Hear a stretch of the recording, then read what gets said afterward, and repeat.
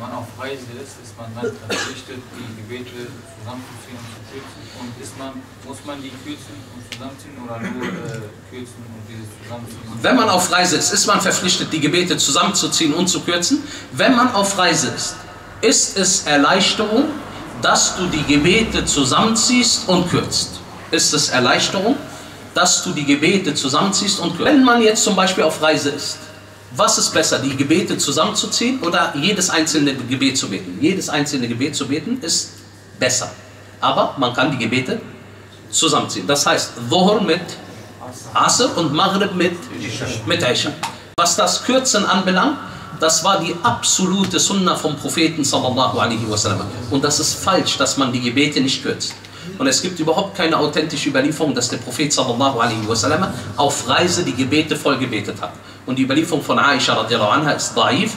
Und der Prophet sallallahu alaihi wasallam hat niemals auf Reise sein Gebet voll gebetet. Deswegen kürzt man die Gebete. Was heißt kürzt man die Gebete? Welche Gebete? Duch und Asr 2, 2. Welche Gebete? Alle vier, alle vier Raka-Gebete werden zu? Das heißt, die werden zu den kürzesten Gebeten, die die längsten sind.